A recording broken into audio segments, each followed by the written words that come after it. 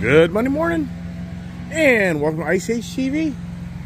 The Internal Combustion Engine Age YouTube channel talks about all my cars and trucks, and motorcycles and SUVs. And wow, what are we doing now? Hey, good Monday morning there, and hope everybody's doing well. Thanks for all the uh, people that subscribe, watch my channel, and being down here in Florida just throws everything off in my life. The, the schedules, the routines. I'm hungry, and I'm gonna go uptown not even go up to town, I'm gonna get something to eat. And so I figured, you know what? I'll just go ahead and make a video as I roll up the road because uh, uh, it's a busy day. It just doesn't end. We have family, you gotta take care of people and do activities and blah, blah, blah. It just doesn't end. So for me, I'm gonna run up the road here, get some, get some McDonald's and uh, try to talk about some conversations. Okay, heading over McDonald's. Hey, how about that McDonald's for breakfast? Really? Yeah, it's quick, it's easy. Yeah, my gosh, what a what a evening, right? Anybody here watching the uh, the football antics? What a freaking evening of a game! Like a forever game or what? I mean, that game. I mean, whoever watched it, and I thought to myself, you know what? The conversation we have today is to watch conversations like your watch. Where's my watch? Where's my watch on? I got my. Uh, Port Tarpon uh, boating shirt on. My brother wants to take the boat out this morning to run the boat up and down the river, so he needs our help because apparently my dad isn't the, uh, you know, being 92 years old.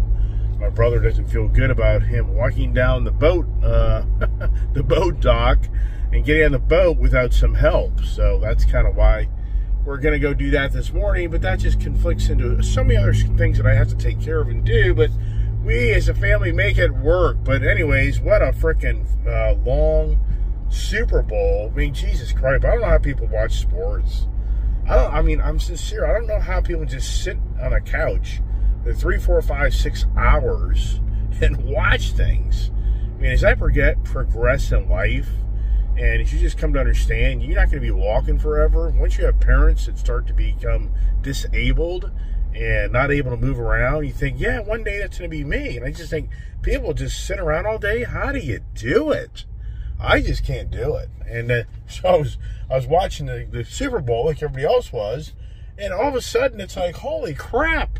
You know, we're we're like five hours into this freaking between the Super Bowl thing, and here we are, golfers. This is the Gulf area.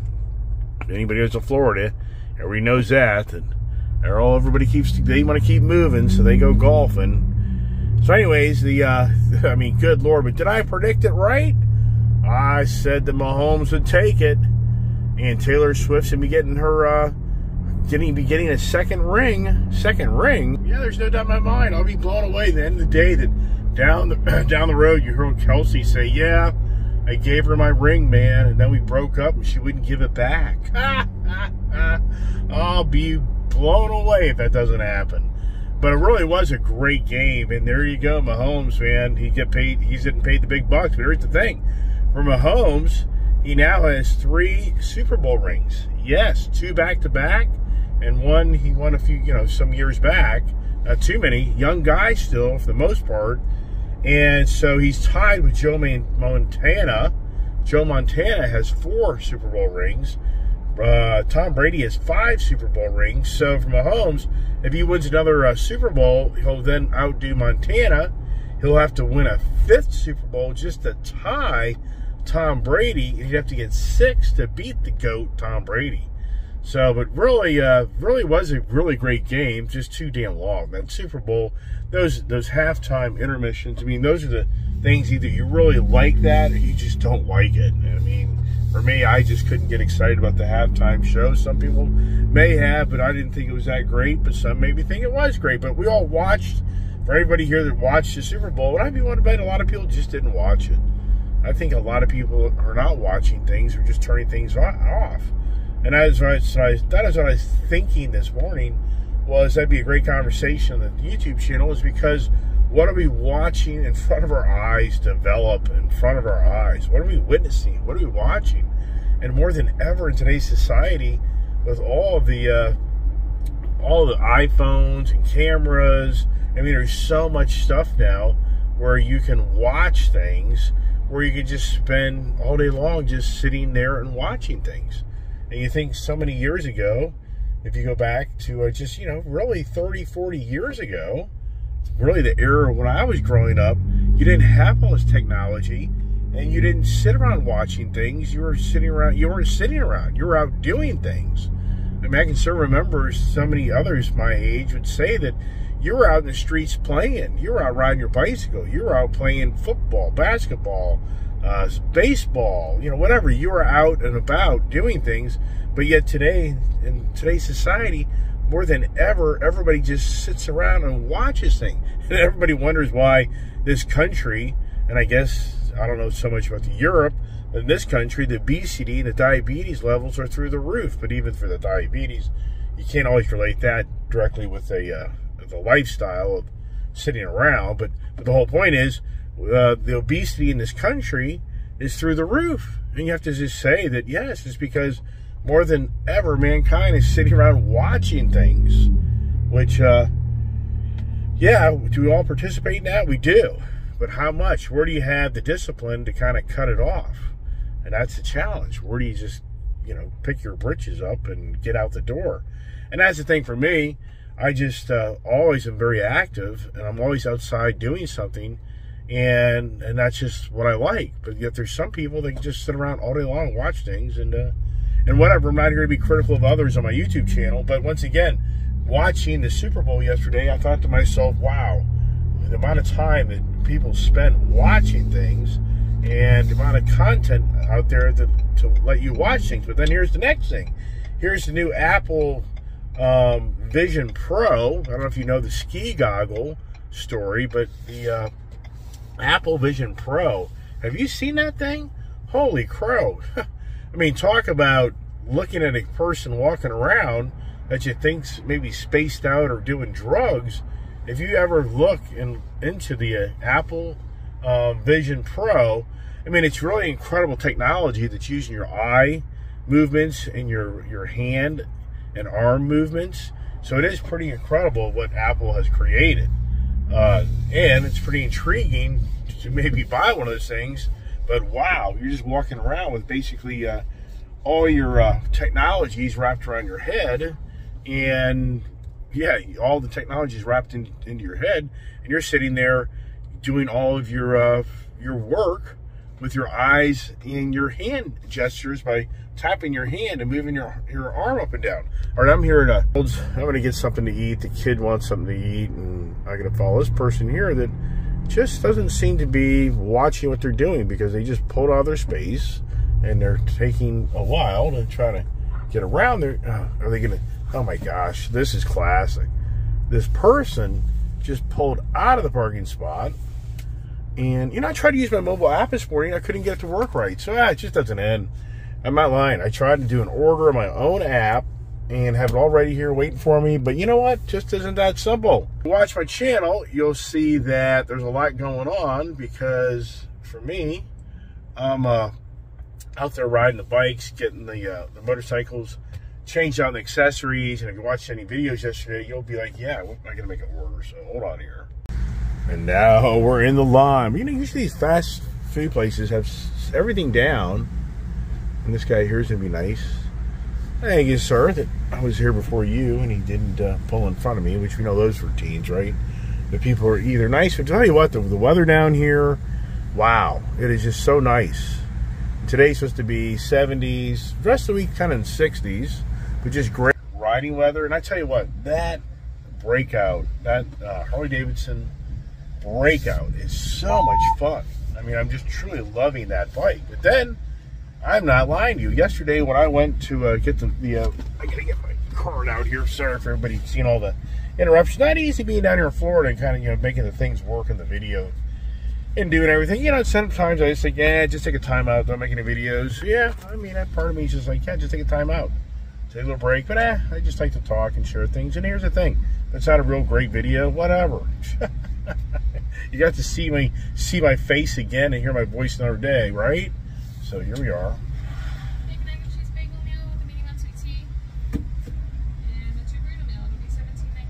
Thank you. Wow, I haven't even had any freaking coffee yet. Jesus Christ, man. How do you make a YouTube channel without having a cup of coffee, right? So anyways, let me get the uh, the car back home, get some coffee, and uh, and finish up my conversation here, okay?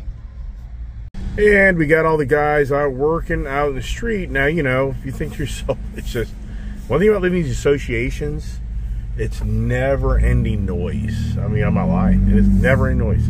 These guys are either cutting grass, blowing, you know, leaves, trimming trees. It just doesn't end. Yeah. Yep, HOAs. And then they'll take a picture of my truck and my parents' driveway right here, and then my parents will get a violation. Uh, you can't park a truck in the driveway. But yet, my next door neighbor's SUV, it really looks that much more attractive than a truck. But I've had these conversations a gazillion times, so we'll leave it at that. All right, back to the frickin' the house, right? The garage with all the Harleys. Harley Nation, Harley, you know, you go back a year ago, I had my Indian down here. What other Harley did I have down here? I had my other CVO, lava colored, and I had the, the uh, so I had the Indian Chief Bobber, which is up north now, which I bought all down here, only now to bring back down a bunch of Harleys. And if you're watching my channel, excuse me, you'll see yesterday that I changed out the exhaust on this uh, Harley. And I put on these Rinehart, Rinehart slip-on exhaust uh, mufflers. And I really think they really sound great. So for anybody out there that hasn't been watching my channel and didn't hear the uh, the mufflers, I'm going to start it up right now because this bike just sounds really good. And I'm very happy with the bike right now, even though yesterday when I was riding this over my brother's house, the exhaust note, it just it makes a difference to me of the fun factor of not so much. So let's start her up, wake up the neighborhood.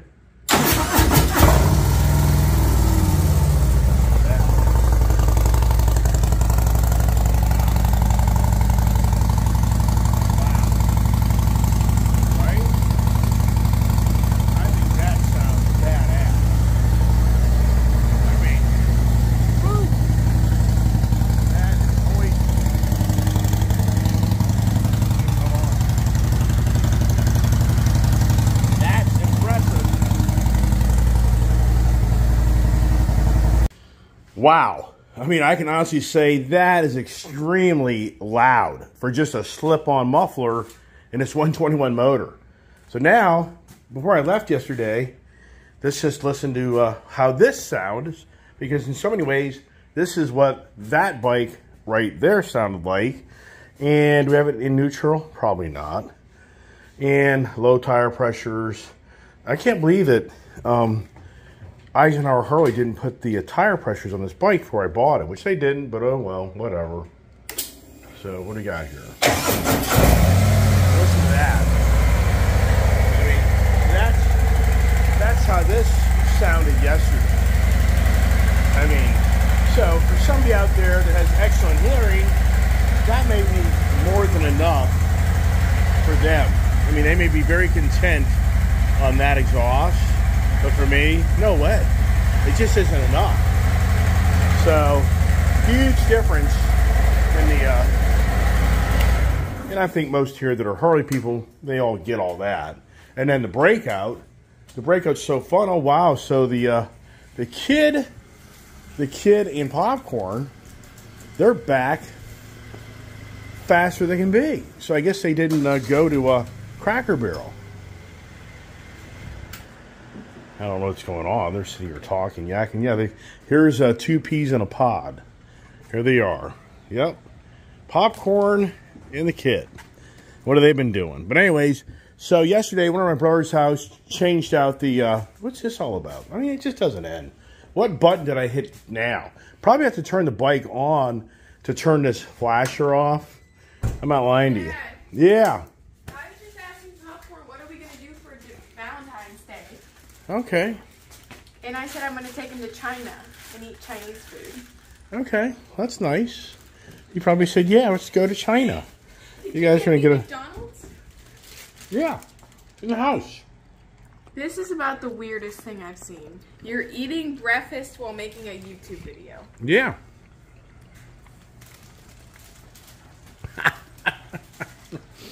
Hey, we're in Florida, vacationing, right? We're having fun. Why don't you help your your, your granddad? Look, she just abandoned her grandfather as a 91 year old going 92 year old trying to get out of car. Right? So, anyways, so uh, the next project, as you can probably figure out, is the Fast Johnny. I'm going to put new exhaust on the, the Fast Johnny and put on saddlebag bars to protect it, new windscreen to give this thing some uh, some highway pegs. And one of my subscribers is saying that you're going to ruin the uh, those lower highway bars if you put those special uh, highway pegs on them. There's a notched, actually that bar is notched for an area where you mount the um, highway pegs, just so you know. There's a little um, bulbous um, on that bar that is that's exactly where you're supposed to put it, so you just don't you don't ruin that bar per se. But I'm amazed at how comfortable I am per se of riding this breakout. I'm taken back on how I really am more comfortable I thought I'd be. And what's even more exciting is the helmet I got. I got a brand new helmet, and that helmet is so nice that enables you to. Uh, I'll go get it and show it to you. I used to be gimpy.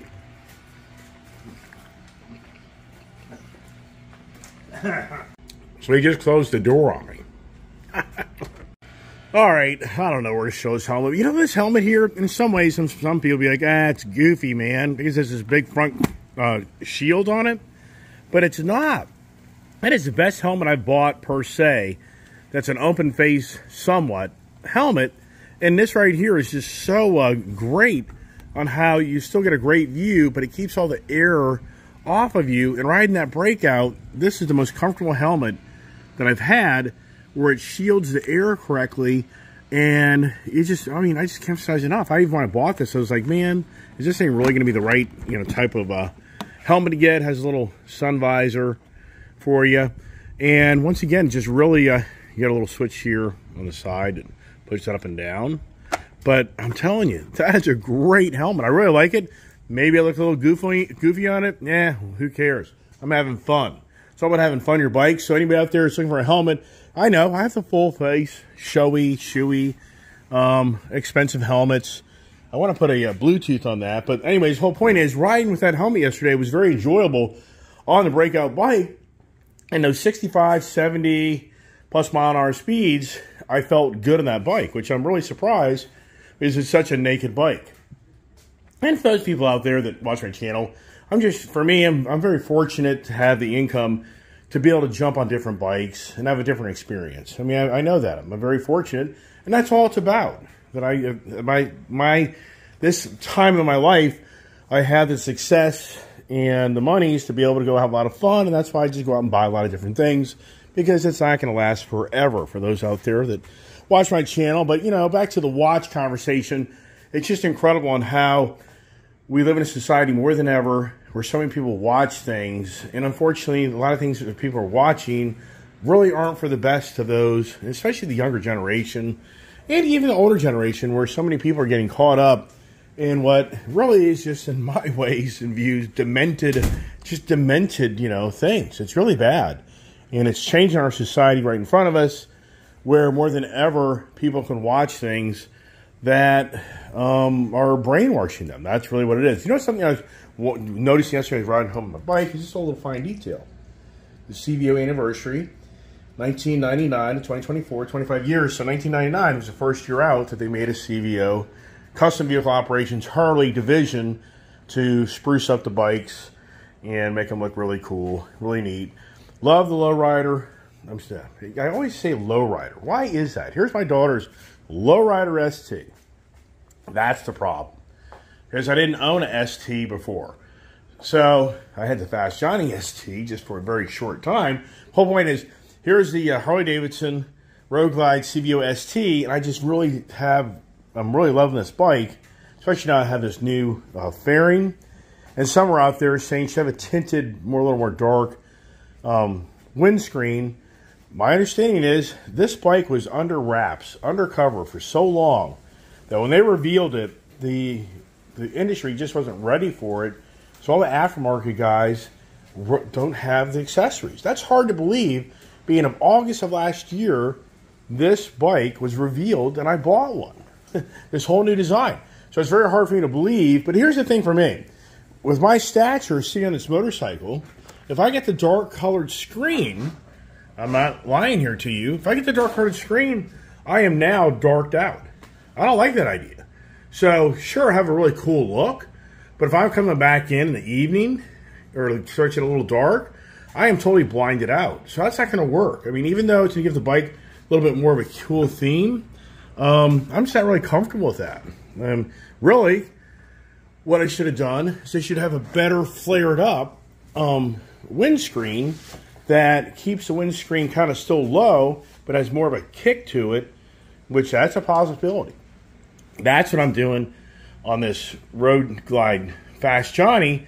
I'm putting the same size windscreen on it, but it has more of a flare on it to kick the air up from my face. I just don't like riding a bagger bike with a freaking huge front end where you're getting wind all over your body. Why do you have a freaking, I mean, why are you even riding it then? This is supposed to protect you and give you that more comfortable ride where you're not fighting the wind with your body. And that's what happens you think your bikes.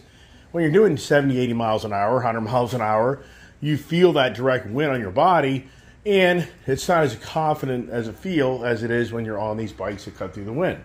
And if you watch videos of people riding these bikes, you can just kind of see by their body posture and the, and the way the bike moves around, well, that goes to that.